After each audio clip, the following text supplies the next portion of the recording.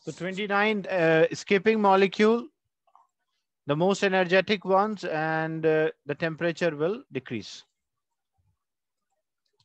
So now we'll discuss structure questions. and mainly related to, yes, he was the answer for 29. That was correct. Structure questions in terms of molecule, why it is possible to compress gases, but not liquids. So why it is easy to compress gases? Because in gases, the molecules are far or empty spaces are there between the molecules and they're not touching each other. So that's why it is easy to compress.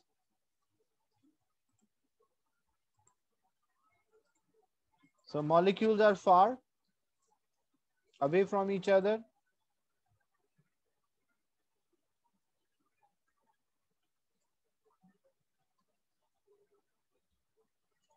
So space available.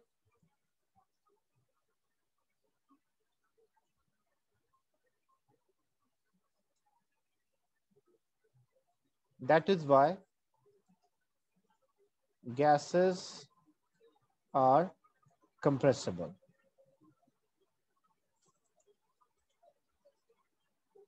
You have two containers. In the next part, two containers made up of insulating material. Insulating material means material which does not conduct heat. Have same volume of water at room temperature.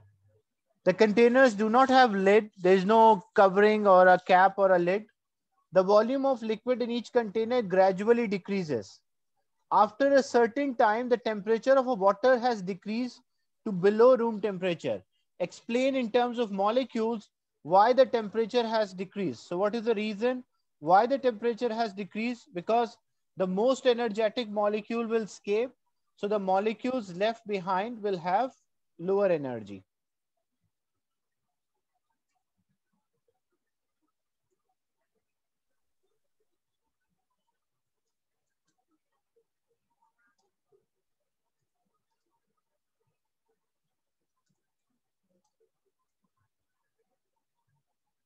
That's why the temperature of the liquid will come below the room temperature. Then in the next part, they're asking,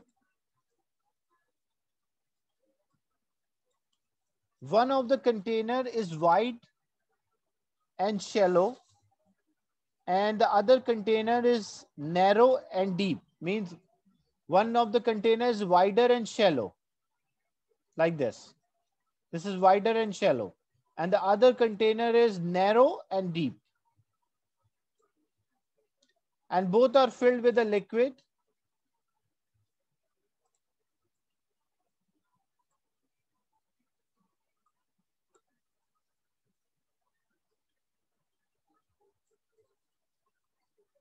Predict which container has a greater rate of cooling and explain your answer. So which container will have a greater rate of cooling? So wider and shallow will have a greater rate of cooling because large surface area. So your answer, the point you'll mention uh, water in a wider container or molecule with a large surface area container. More molecule are exposed to surroundings, so higher chance of evaporation or greater rate of evaporation.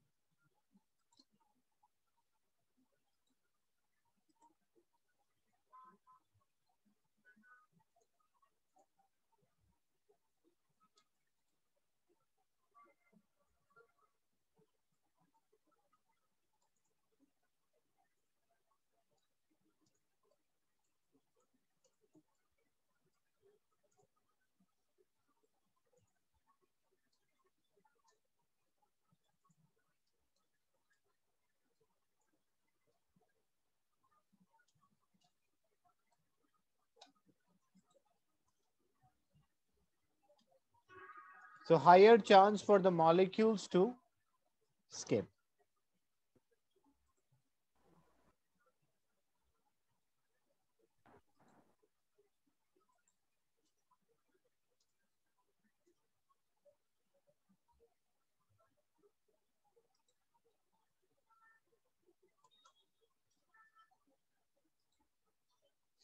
What happens if a temperature of a gas is increased?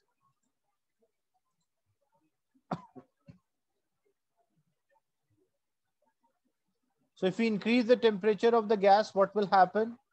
Uh, th this is the speed of the part temperature of a gas. So speed of the particle increase. But this part related to gas, we'll discuss tomorrow because today we are only discussing evaporation and boiling, bo Brownian motion and about the solid, liquid and gas. The hot plate is switched on. When the temperature of a water is below 100, some of the water evaporate. Here the picture is missing apart from a temperature at which it occurs, state how boiling differ from evaporation. So you can do that as well. We discussed already the difference between boiling and evaporation.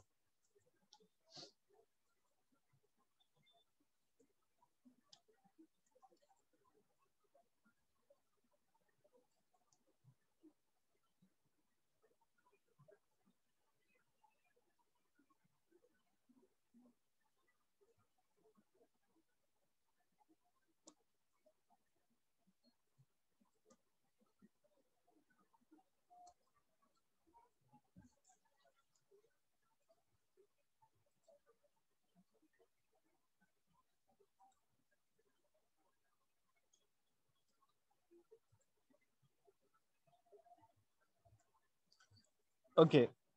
A footballer and a referee are discussing a puddle of water. Means a small amount of water is there on the field. That's a puddle of water. So referee and uh, footballer are discussing that on the pitch, a football field.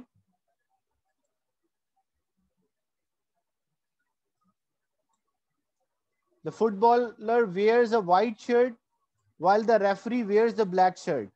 Apart from color, the weather is bright and sunny. State and explain how temperature of a white shirt differ from black shirt, which like a player is wearing a white shirt where referee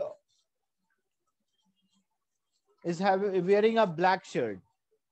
How the temperature of the white shirt differ from black shirt? Which one show a higher temperature?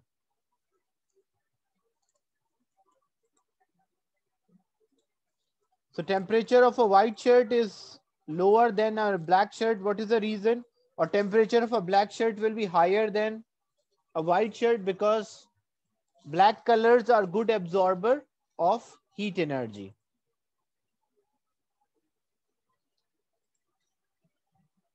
Yeah, black absorb more energy than, that's why the temperature will be higher. The volume of the water in the puddle this water is there on the field, that's a puddle. It's slowly decreasing. Describe how two changes in the weather condition could affect the rate of puddle dries, means how it affects the rate of evaporation. What are the two reaction uh, weather conditions which can affect this evaporation? Temperature that's one wind speed another humidity is also there because higher humidity means lower rate of evaporation. So change one maybe if it is uh, more wind then faster evaporation. If it is humid then slower evaporation. You can mention that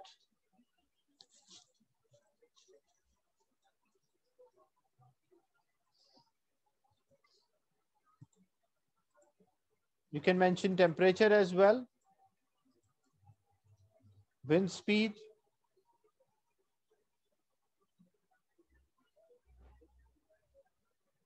If wind is blowing, higher wind speed, faster evaporation.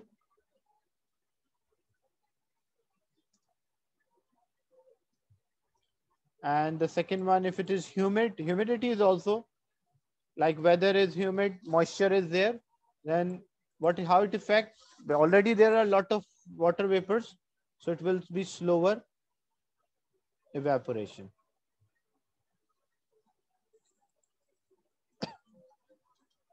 Explain in terms of water molecule what happened as a puddle dries means you have to explain this process of evaporation.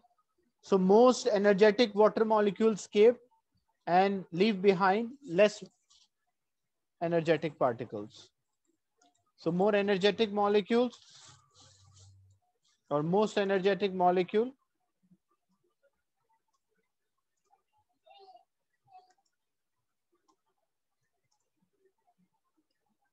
leave behind less energetic molecules.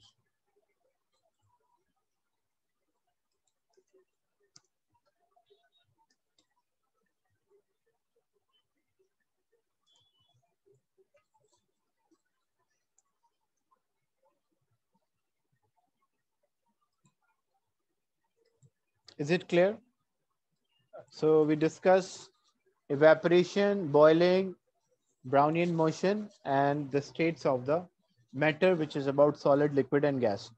There are a lot of questions. This file I will share with you as a weekly homework, but remaining we will discuss.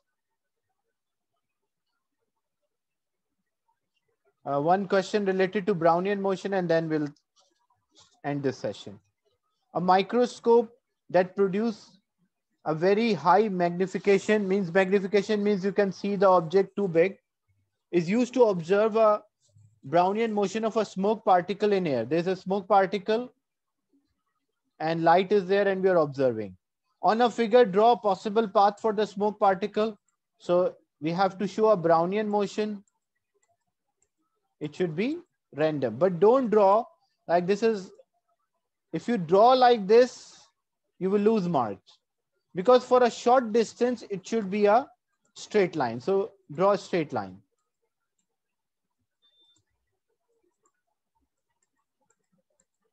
Random, anywhere you can draw, but straight line for a short distance. Describe how air molecules cause the smoke particle to observe, like why they're moving randomly.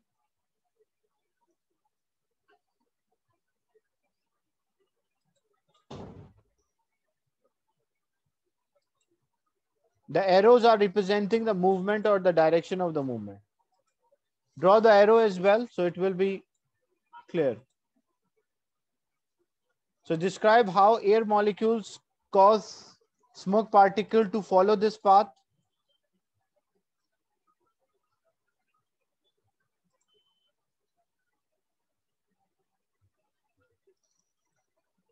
So air molecules collide with smoke particle and cause the random motion or the change in momentum.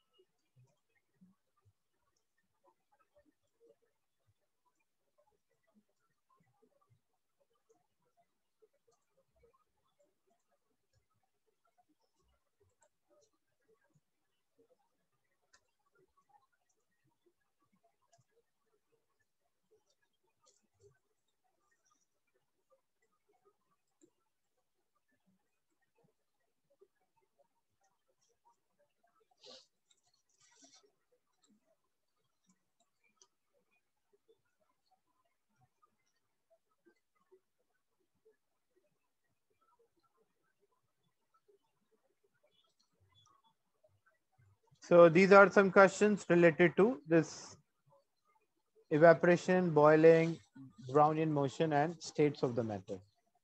Tomorrow we'll discuss the gas laws and discuss questions related to gas laws as well. Any question related to the class today?